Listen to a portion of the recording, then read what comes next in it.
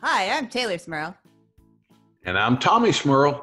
and this is Neat. Well, hello, Dad. How are you? Well, hello, Tater. I'm good. I'm just licking my lips and waiting to sink them into these mint juleps. That is right. That is right. Uh, over on the podcast, we talked all about the history of the uh, not not American in origin, but very associated with the American South, the classic cocktail that is the mint julep. So we're going to be making a classic mint julep today, and a little bit of a modified mint julep for you. I cannot wait to put my two lips on the juleps. All right. Well, uh, of course, you know, if you don't have one of these silver or perhaps pewter if you're fancy julep cups, you can still drink a mint julep, but they are best out of these nice, quickly chilled cups. That's the thing. They get cooled really quickly, they hold the chill really nicely. They also just look beautiful. So, this is our first ingredient. The and good you got damn a cup. nice got a nice bottom on them that you can hold it by so that your the heat transfer from your hand doesn't get in there or your hand doesn't get cold. I noticed that these have like the the like the fabricy trophy Yeah. basin. Mhm. like they won't slide around on you, you know, if you're a little Uh. little sauce, they're not gonna click over real, yeah. real easy. Yeah, I'm going to try to convince people I won the horse race. There And that's go. what I'm drinking out of my silver cup. I came in second twice.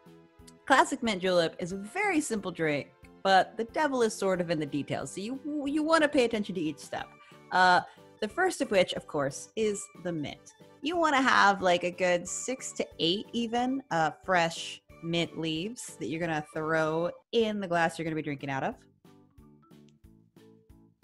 And do we bruise it? Yep. You can smack it. I mean, you're- also gonna muddle it lightly. Now, like as we mentioned on the Bad podcast. Bad mint. some some people do not muddle their mint at all they just stir it i'm a fan of the gentle muddle now that we have our mint in there uh, we're going to add our sweetener now traditionally a, um, a mint julep would have been used with like, raw sugar or a sugar cube that you would have muddled down in there with the mint but to get that uh, even dispersal of the sweetener a simple syrup is probably a little bit easier if you want to do the classic way that's totally cool but we're going to use a simple syrup um, and you can use anywhere from a quarter ounce to a half ounce, kind of depends on how sweet you want. But remember, this is a bourbon forward drink. This is not meant to be a light, refreshing, tall drink. This is a bourbon drink. So I'm going to stick with a quarter ounce. And we're going to uh, just lightly muddle our sugar and mint together. I was stirring it around the inside of the cup too, because I remembered them saying that uh, you should coat the inside of the cup with the mint oil. All right, and then we're gonna do two to two, two and a half, three ounces if you know you're feeling it of your bourbon of choice. Uh, I've got Woodford Reserve, the sponsor of the Kentucky Derby. I believe I've got the exact same thing. Yeah, you do.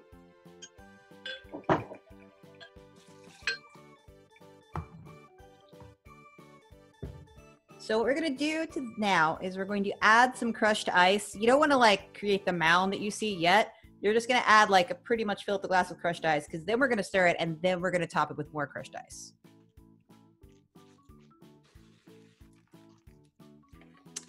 As we talked about on the podcast, uh, if you don't have a crushed ice machine at home, because who does? Uh, you, literally, you just need a kitchen towel, and I used uh, my hammer. I just filled up my kitchen towel with ice cubes from the fridge, like one by one ice cubes. Beat them until they were nice and like little chunks, and this is this is totally totally fine. You know, if you don't have chipped ice, it's fine. Now my refrigerator dispensed crushed ice, but it's not crushed to what I think that the standards are for this drink.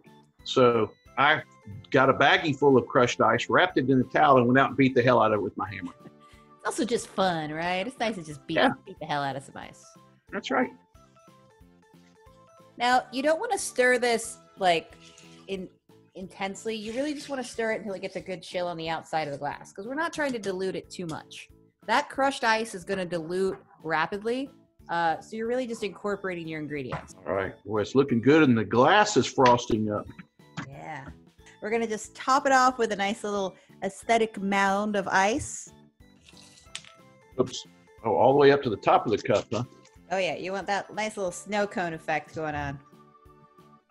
All right. All right, so I need my sprig in there. Yes, the last ingredient is a nice, big, healthy, luxurious sprig of mint that you want to give a few smacks to release those oils and just stick right down in there. All right. There is your mint julep. Cheers. Cheers. I'm just going to sit here and sniff it for a minute. Oh, that's really good. Well, and when made correctly, uh, you're probably noticing this. It does not taste like a sweet, refreshing cocktail. It tastes like No, slightly modified bourbon. Yeah. yeah, absolutely. Maybe the only uh, misconception with the mint julep is I think people see like the mint and all the crushed ice and they think it's going to be like a mojito. And it's Mhm. not. It's really like an old fashioned that's been stretched out a little bit and maybe diluted a little more. No, that's really good. But it's like it said, the most important thing of this is it needs to be well balanced, and it, you have to remember it is a bourbon forward drink. You're not Exactly. drinking something that's a punch or something like that. It's a bourbon drink. Yeah. All right. So our second drink, uh, Dad mentioned that in his research he came across uh, a mint julep that was made with honey subbed in for the sugar. Now, that is a tiny little change, uh, but as we talked about also on the podcast, a simple change to a simple drink can make an entirely new cocktail. So why not try it out? Yeah, from a simple man. For our second julep, we're going to do basically the same thing. We're going to start off with six to eight fresh mint leaves, and we're just going to use a two to one honey syrup, quarter ounce to a half ounce, depending on how you like things, in place of the simple syrup.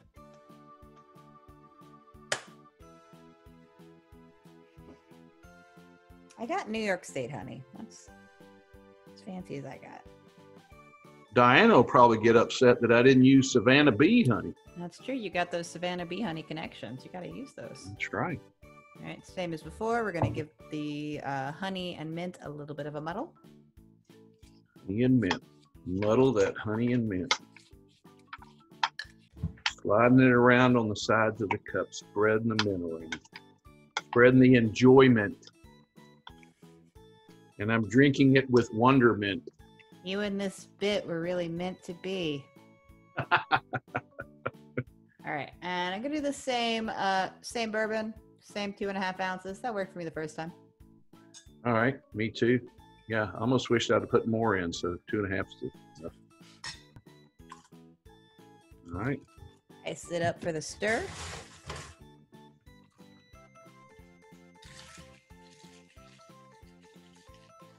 Right, now we we're snowball it. Top, yep. Now, since we're doing um a, a little alteration on the classic, uh, I'm gonna go ahead and add a little bit of bitters to mine. It's not the classic way of doing it, but I I like a little bit of bitters in my mint julep. Uh, so we're breaking one rule. Might as well break some more. Breaking the Just on law. top. Breaking the law. You know, it adds a little bit of color too. Makes it look like a snow cone. I've got my mint garnishment in there, but it also said in there that you could use some honeycomb for a garnishment. So my honey that I got, my raw honey, came with honeycomb in it. Ooh, fancy. I'm putting a sprig of honeycomb in mine. A sprig? Is that the measurement? There's my sprig of honey. I bet it'll look nice. Oh yeah, it looks beautiful. Yeah, Modern art. Great job. there you go. Cheers. Cheers.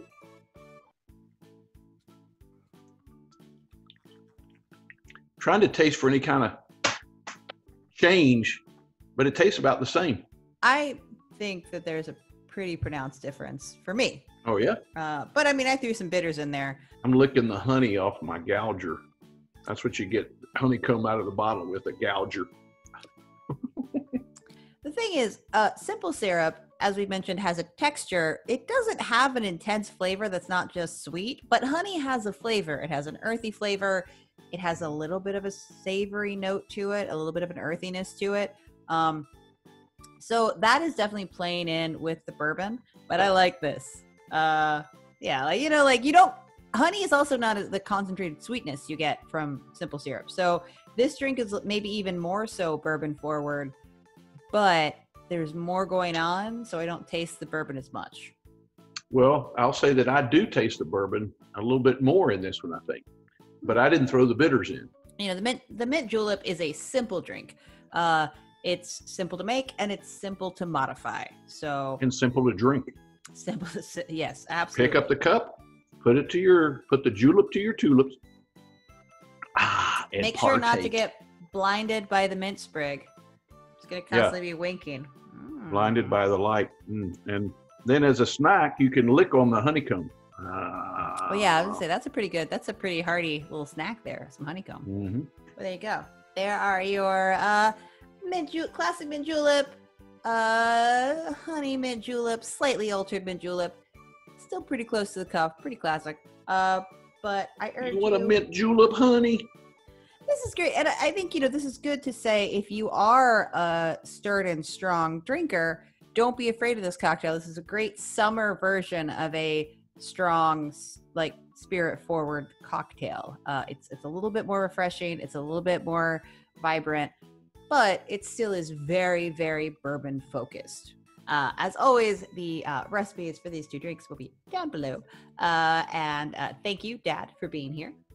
Well, thank you, Taylor, for having me and juliping me. And uh, of course, if you want to find us on social media, you can find us at Neat Boozecast on Twitter and Instagram. If you want to uh, join our Patreon, we have one of those. Uh, you can get coasters and stickers, and you can be part of our bespoke cocktail club, which uh, this week we, uh, if you are part of it already, you'll get a notification if you're one of the lucky lucky participants, depending on who's making your drink, uh, chosen for it. You will you will hear... lucky or luckier. there you go. Yeah. If you would like to email us, you can email us at neattheboozecast at gmail.com. And if you want to find us on Facebook, Dad's got a Facebook group. Tell them all about it. Meet the Boozecast. It's a group. We're That's, there. There it is. That's it. Uh, there you go. Outside of that, uh, if you'd like us, you are welcome to like, to subscribe, uh, get updates when these videos release. Uh, we would love that. Yep, smash the subscribe. Just smash, smash it. Smash the hell out of it. M- muddle. Uh, like just like, yeah, muddle and smash and and crush the ice. Mm-hmm. Hey, I've been Taylor Smurl. And I've been Tommy Smurl. And this has been neat. I like that. Uh, there's the the traditional Southern cocktails that we've covered so far: the Sazerac and the mint julep. Like they're the same thing, right? It's like, do you want to drink a bunch of rye with some stuff in it? Do you want to drink a bunch of bourbon with some stuff in it?